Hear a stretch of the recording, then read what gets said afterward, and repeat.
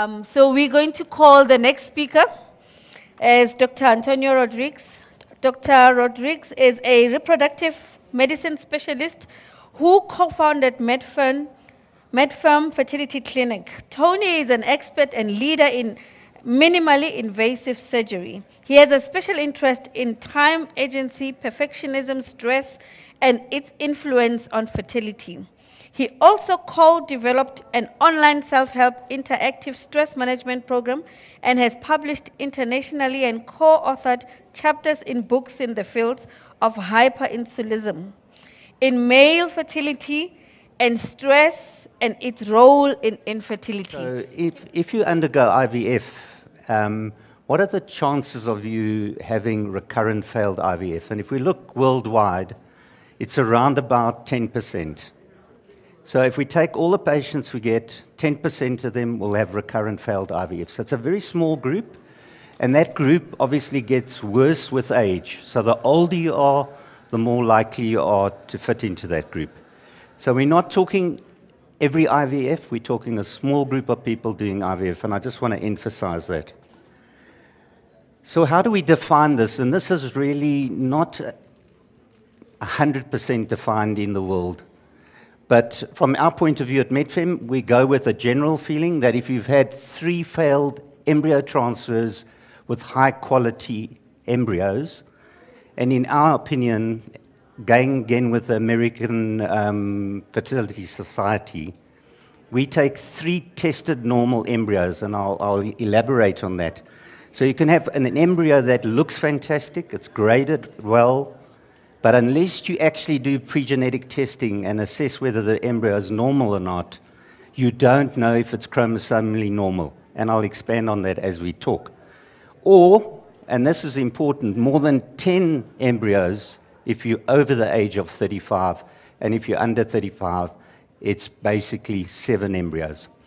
And why is it that? First of all, I just want to mention on the implantation side, if you've done, if you've tested embryos, and you've got three tested embryos, you will end up with a 92.6% pregnancy rate, so, which is very high. But those are in tested normal embryos. If your embryos aren't tested, you actually don't know whether they're normal or not. They can look beautiful, they can be graded the best grade, but you don't know if they're chromosomally normal. So, what has to happen for this magic implantation to take place. The first thing is you need a high quality blastocyst. And obviously, if that's a tested blastocyst and the chromosomes are normal, that's the highest quali quality blastocyst you can get. And that's a day five embryo. It consists of an outer cell uh, mass, which creates the placenta, and an inner cell mass, which creates the baby. The next thing that happens, it actually hatches. And that happens often when we, before we do the transfer, it starts to hatch. So that's the next phase in development. And then three important things take place. The first is it needs to come close to the lining of the uterus. It has to get to the lining of the uterus. The second thing, it needs to attach to that lining. And we'll, come, we'll go through that in a bit more detail. And then the last thing that needs to happen, it actually has to invade that, that lining of the uterus. So it actually has to penetrate that lining to make a space for itself and to grow as an embryo. So there's a lot taking place there. And within the context of my talk today, it's any of those things can go wrong. And we as fertility specialists um, have to, uh, from my point of view, uh, we need to do that almost all the testing before we do IVF. So we limit the number of people going through recurrent failures try and answer the questions before you get the problem. Um, but sometimes you, can only answer it once you know what the embryos are like, and you, you have to go through more than one cycle. So, why does IVF mostly fail? It's because the embryo is not normal. And the other thing is, even if you do pre-genetic testing and you have a chromosomally normal embryo, it doesn't mean it's actually normal. There are other things in an embryo which we can't measure. And those things are genetics between the couple. That's quite rare. Problems with what we call microdeletions and other things. So if you, and that is why to get a 95% chance of having a baby with a tested embryo, you need at least three. So some patients will fall pregnant with the first one, others will fall pregnant with the second, and the last with the third. And that, just to mention that, when you're going through IVF and someone puts an embryo back, and we in our practice like to put one embryo back at a time because of the complication rates with twin pregnancies. So if we're putting one embryo back and it doesn't work, and we put a second and it doesn't work, the last one has a much higher chance of being the right embryo. So your chances go up with your embryos. Not like everyone thinks, well, I've made bad embryos, so none of them are going to work. It actually goes up. So just something to put in your heads. If you're going through IVFs, give it a chance. It does come right. So what's this all about? Dr. Bika mentioned it. Age is the most important thing. Unfortunately, we can't change age. So the younger you are, the better the quality of the eggs. If we look at the, this curve, what is interesting in the 22 to 25 year olds, their abnormality rate in embryos is actually higher. And there's two reasons for that. Often those patients have very high egg, uh, egg uh, numbers, and a lot of the embryos land up being not normal. And also that group of people, their lifestyles aren't always in a good space. We can't change age. We can't change whether the embryo is abnormal to start with. But there is no doubt that as, you as an embryo develops, as an egg develops in the cycle, it can go from a normal egg to an abnormal egg, depending on the environment that we're going to discuss a little bit about. So a normal egg can become an abnormal egg. And they've showed this where they've gone and done chromosomes on normal eggs versus embryos, and they found that, in fact, there's a much lower rate of abnormals compared to abnormal embryos. So the important thing here, and that's a lot of the talk, is what can we do other than age, having babies younger, um, making sure that you understand if you're a couple having your babies younger. But as you as a group, you're already in this situation. You're not in that group of preventing fertility problems later. This is also an important slide, and, and again, uh, Dr. Bika did, it came out in his talk. If we look as you get older, well, I think the first thing, I started doing IVF in 1990. So that's a long time ago. So I've grown with this. And, and those were the success rates. They were hardly anything, less than 10% in those days. The, and this is live birth rates, by the way. So if you're pregnant, and how, how often will you have a baby being born? Because that's the only critical thing. Being pregnant, having a positive test, having a heartbeat is, is important, but we want a live birth, a healthy baby in your arms. That's the end goal for us. And if you look at this, this is actually stable at the moment. It's, it's around just over 30% in your under 35 year olds. As soon as you go down there, you can see how it drops. And that's purely a reflection that age creates a problem with the chromosomes, the number of normal eggs that have normal chromosomes. And unfortunately, there's not much you can do about that. So, what can we do? And look, I've, I've, over the last 30 years, we've been very focused on lifestyle changes in, in our practice, in our, in our research that we do. And these are the factors that play a role. So BMI is important, and you've heard about it, can be low BMIs, high BMIs. There are some people with high BMIs that are very fertile. They've got absolutely normal uteruses, they make great eggs, and they make babies easily. But once you get into this recurrent failed IVF, both men and women need to put the effort in to these things. Being on the right diet. Even if you need to go on to uh, uh, dietary therapy in some patients to reduce your weight, we're talking about a very specific group here people who have recurrent failed in vitros. They need to pay attention to this. In my opinion, this should be paid attention to before you do your first IVF. But if you have already gone through in vitros and any of these are pertinent to you, smoking, we know, is a vasoconstrictor. It constricts the blood vessels. And it's a problem for the uterus, for the egg quality. It's real. You need to cut your smoking if you can. Drinking, again, drinking is a problem. Stress for me is the biggest problem. I mean, we've been talking about stress for um, 25 years now. And if any of you, if any of you want to see if you're stressed, you can go onto our, that website, www.tups.co. There's a free, you can do it for free. And you, I think you can download our book, which we wrote 25 years ago, called Faster, Better, Sicker. That's what it was all about. If you read that book, it sounds like everything that's coming out in the world now in terms of stress is in that particular book that we wrote a long time ago. The other thing is, I made a point of putting men and women because this is not a female thing. This is a male as, uh, situation as well. Can men influence the quality of the embryo? Absolutely. A sperm that fertilizes an egg needs to be a healthy sperm with the right BMI, without smoking. All those factors play a role in the sperm. And you can get an embryo that you think's fine, and we blame the egg, and it can be the sperm. So, guys, you need to be on board with this. In terms of hormones, we always test all the men as well. We want to know that they don't have high insulin levels, that their thyroids are normal, and that they don't have high prolactin levels. Exactly the same as a female. If they've got any of that wrong, we need to correct it before we do IVF. And then lastly, you need to optimize your nutrient intake. And different clinics use different nutrients, and you've got to trust the fertility specialist that you're with. The people that are around are all good doctors, and you just got to have your faith in the doctor that you're with and, and, and understand what they're saying and understand their philosophies. Um, in terms of that, I'm not going to go into detail. In our clinic, we use Insamax Q and uh, we use Staminogro in the men. We use active folic acid. Those are the kind of things we do. It's the only time that 1 plus 1 equals 1. It's this time. You need that to be healthy, men and women, to create a healthy embryo.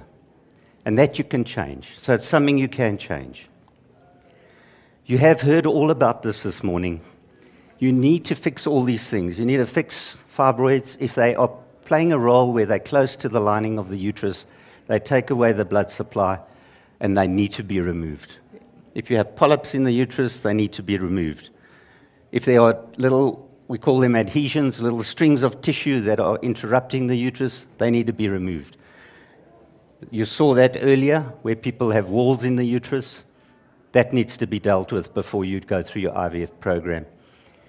Endometriosis, in, in modern opinion, latest opinion, it's been up and down endometriosis. From our point of view at MedFem, we know that that plays a big role in egg quality, can play a role in egg numbers, and can play a role in implantation.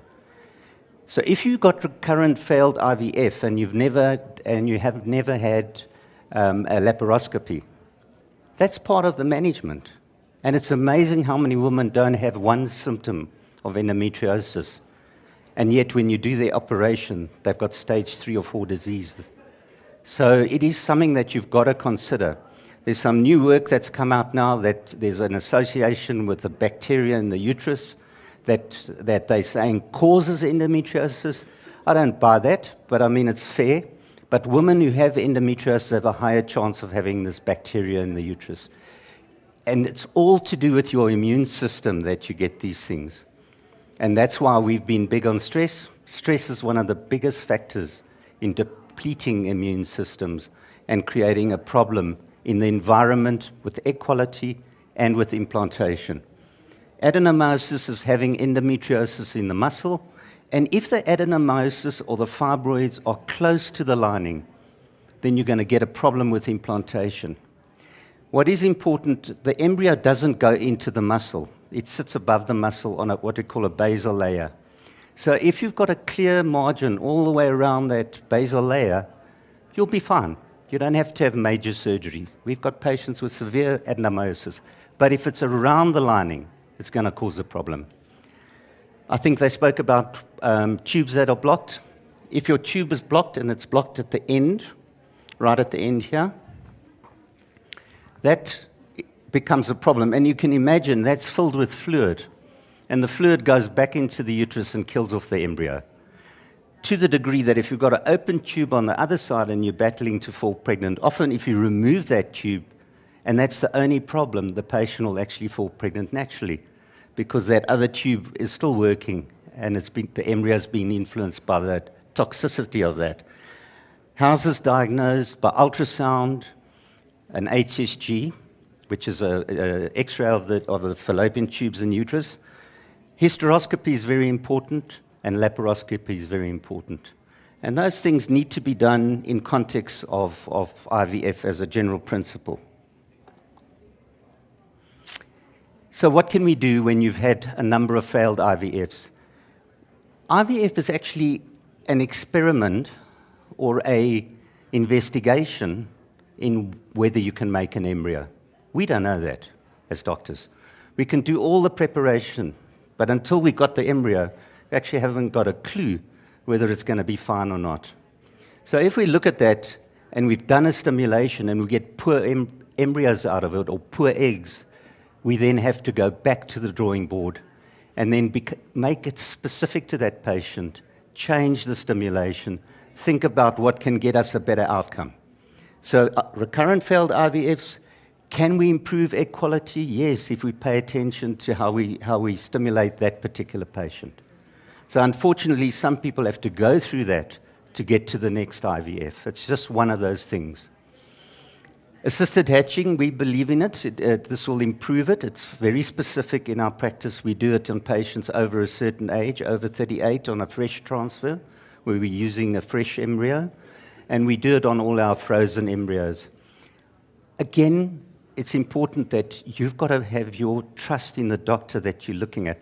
All the specialists in town know what they're doing. There's so much in our world of medicine. What works for our practice works for our practice, and we stick with that. So it sounds a bit strange that, but there's lots of different ways of getting to the end point, and you just have to have that trust in the people that look after you. And then pre-genetic testing, which means the following. On day five, when you've got a blastocyst, which I showed you earlier, outside mass of placental tissue, a biopsy is done by the laboratory staff. They take about six to eight cells out. Those cells are prepared in a special way, and they go to a genetic laboratory for assessment of all, um, well, it's basically all the chromosomes. So it's 46 chromosomes They're 22, and then you've got your XY chromosome, male, female. And they test for everything at that level. And that particular test will come back, and then we put back an embryo that is normal. Again, that you don't have to do that. This we're talking about recurrent, recurrent fails, IVFs. Pre-genetic testing we recommend often to people as they get older, if you look at women under the age of 35, they've got such a good pregnancy rate generally, you don't have to go to tested embryos in that group. What about embryo transfer from a recurrent failure? Do you do fresh transfers? Do you do frozen? Again, in, a, in our particular clinic, we, we have a specific protocol that we follow. Fresh and frozen are the same if you're very choosy about when you put a fresh embryo back. There's certain parameters that we use, and if we use those parameters and it says you shouldn't put it back, then you need to wait for a frozen. Otherwise, they, they're equal in our practice. Having said that, some patients do better with fresh than frozen. You can struggle with frozen embryos, and when you change to a fresh embryo transfer, they do fine. And then what about preparation of the uterus? When we prepare a uterus to put an embryo back, there's two ways of doing it and there's an in between way. The one is we use a natural cycle, where the patients, you, you, you monitor their cycle, they have an egg, the egg gets released, and then you use the environment that that egg makes to, to actually create um, the, the natural environment for that embryo, versus where we just give them estrogen, prepare the uterus. Technically, the, the natural cycle is the better cycle generally to, to transfer embryos. And in, again, we like, especially in tested embryos, to try and use a natural cycle if we can. Now you're going to get into the phase of what about all these other things that people talk about. There is a group of patients that get, um, they have a higher chance of having clots. It's usually a genetic thing. They often have a family history of having clots in the legs or pulmonary embolus. That's a very specific group of patients, and it's a very specific, specific set of um, tests that need to be done. And it's not for everyone. If you're having recurrent miscarriages, that's a good test to do because that does cause recurrent miscarriages. And in this group, we have the ability to give them blood thinners to actually help implantation. Again, in our practice, we have a protocol. Every patient gets uh, Ecotrin during the IVF. Um, we've done it for years. Is it something that's going to make a difference? It's, we use it, and we feel it makes a difference. You don't have to use it, but it's something that, uh, because we're not using it on a diagnosis basis, we use it routinely. And we use it right up until 12 weeks. And if the fetal medicine specialist thinks it needs to go on right for the rest of the pregnancy, they tell us that at the end of the day. So, what about, again, you're going to read a lot of this, and, and there's, a, there's a lot going on to allow an embryo to implant. This is all immune factors that are, are allowing an embryo to implant. If you think about it, that embryo is made up of half of someone else. So it's actually a foreign body in, in that uterus. And in order for that foreign body to implant, it needs blocking, we'll call them blocking antibodies that surround it. They are called blocking antibodies, but it's a complicated immune reaction that says, okay, there are male genes here that I'm picking up. How do I protect this baby? And that's in that group, there's a very specific group of people who have a problem with this. They have higher natural killer cells they have a thing called tumor necrosis factor in the uterus. And again, these are treatable by immunotherapy. And from a doctor's point of view, you can use cortisone. You would have read about uh, immunoglobulins and intralipids. From our practice, we like to use immunoglobulins. We use it under the skin instead of intravenous. It has the same benefit. Intralipid excuse me, are, are used wild, widely. This is for recurrent failures, but in our opinion, again, one can test by doing antithyroid antibodies, anti-nuclear antibodies, and antiphospholipid antibodies. 15% of our patients come up positive when they present to our practice. So we'd like to do that up front and then give them the prophylactic treatment on their first IVF. What about endometrial receptivity? Can we actually improve how this uterus um, allows the embryo to implant other than the immune therapy? The frozen thawed embryo transfer, um, that's basically some of the work suggests that frozen is better during that time. We've got specific criteria for it. We like embryo glue, we've used it for a long time. The studies show um, that it, you, we have an increased pregnancy rate with it. It's not a glue. It's a culture medium that hyperstimulates the area, hyperstimulates stem cells, changes some of the immunity, and allows that embryo to implant. It's not the sticky thing that, we, you, that you put in and it sticks and, and then it's happy for, for nine months. It's not that. Nice name, but, but patients just wonder how you, can you please glue my embryo? You know, I wish we could. Platelet-rich plasma can take your blood and we can create plasma.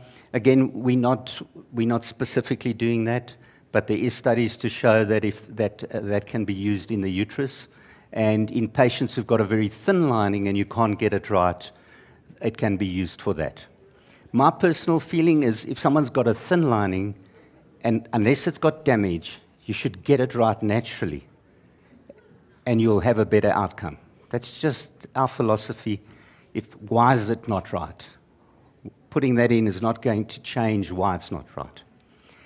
And then there's something called granulocyte colony stimulating factor.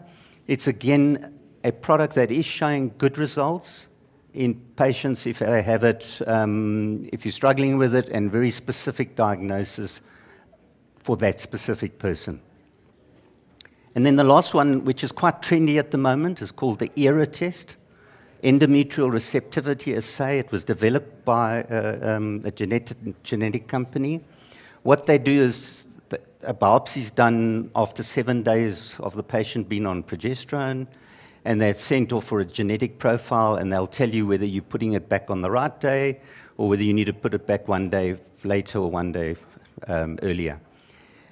The studies, the recent studies on that, if you haven't had more than two failures, you're wasting your time doing that test. It's not going to change your outcome. So it's, it's designed for recurrent failed IVFs. The other thing that, um, the other thing about it, it's, it's not cheap, and the pickup rate is not very high. Obviously, if you're the person with the problem, it'll play a role. So it is something there, it is something that we do, but it's very specific on who we do it with, on.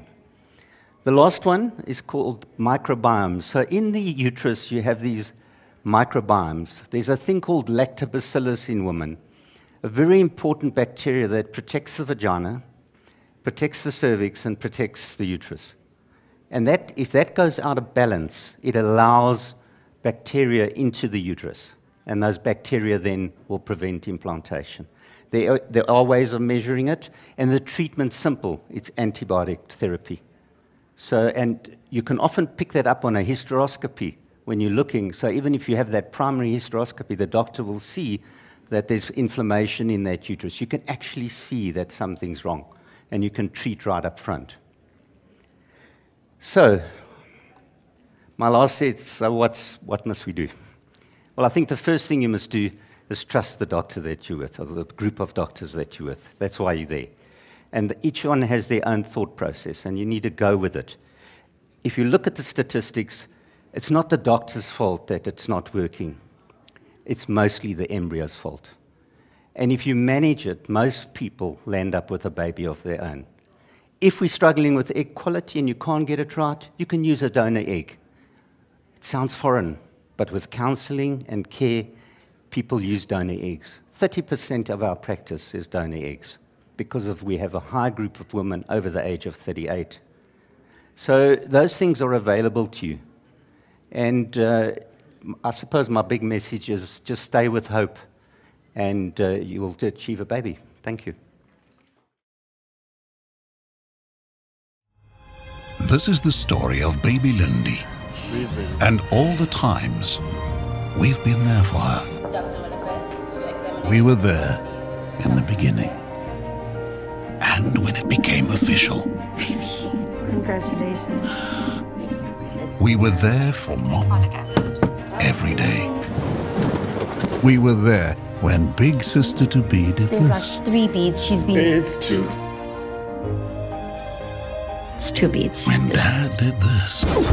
Cheers, madame. And when this happened, we were there too. So here we are. Baby Lindy will be born in exactly 10 minutes. Which is why we've organized an ambulance Just breathe, Dad. to help get them to the hospital on time. We were there for baby Lindy. And we will be there for you.